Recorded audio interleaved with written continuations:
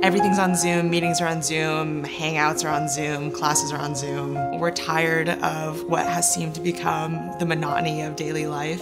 It's really easy to forget, you know, after it's been so long, how important it is to keep safe and stay safe. We exist not only within our bubble, but we're in the Charlottesville community. There's so many families, so many generations, so many towns, so many people around here that need our help.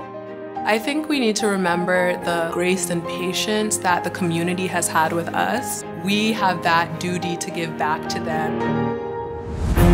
It's small things that everybody does that really is going to get us the end. Wearing a mask, going and getting your weekly saliva test, washing your hands, all of those things which really take very little time but in the end make a really, really big difference. It's important not to think of ourselves as individuals. It's important to think of ourselves as like part of a larger unit. Getting through the finish line, it requires all of us. We're getting there, the vaccination is coming, but it's not time to let up now. We can't stop, we can't take a break, we can't let loose quite yet. The end is in sight. We're so close. We're never given anything that we can't handle, especially being so close to the end and like having the chance to return to normalcy. I have faith in us, like this is something that we can reach the end. This is something that we can't handle.